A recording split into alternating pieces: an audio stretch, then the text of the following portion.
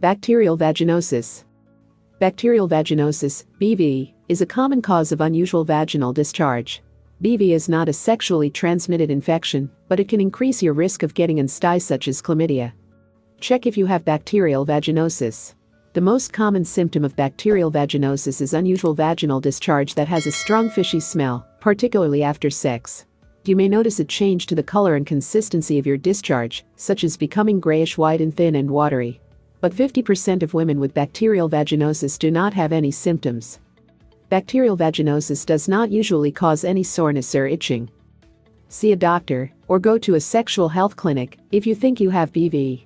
The condition is not usually serious, but you'll need to be treated with antibiotics if you do have BV. It's also important to seek treatment if you're pregnant as there's a small chance that BV can cause complications with pregnancy. Sexual health clinics can help with bacterial vaginosis. Sexual health clinics treat problems with the genitals and urinary system. Many sexual health clinics offer a walk-in service where you do not need an appointment. They'll often get test results quicker than doctor practices. What happens at your appointment? Your doctor or sexual health clinic will want to confirm it's BV and rule out STI.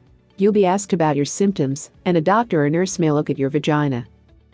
A cotton bud may be wiped over the discharge inside your vagina to test for BV and other infections.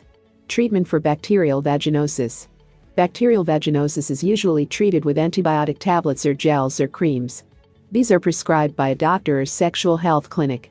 If you have a same sex partner, they may also need treatment. Recurring bacterial vaginosis. It's common for BV to come back, usually within three months. You'll need to take treatment for longer, up to six months. If you keep getting BV, you get it more than twice in six months. A doctor or sexual health clinic will recommend how long you need to treat it.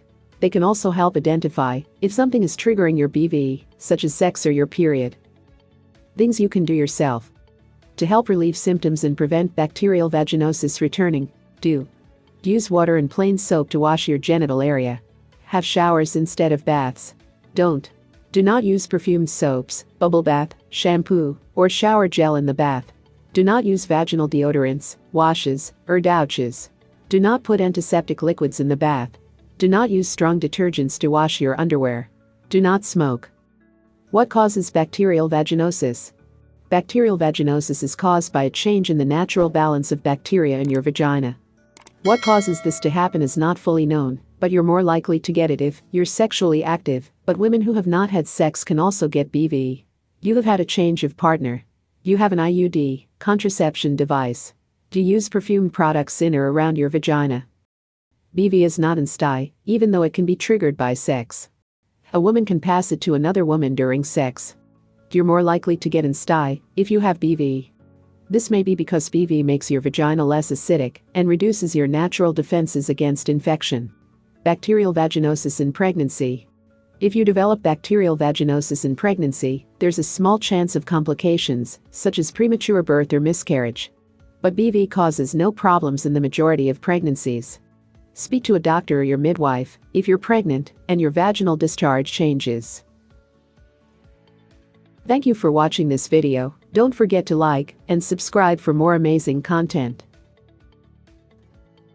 Special thanks to National Health Service, NHS, United Kingdom for the amazing content.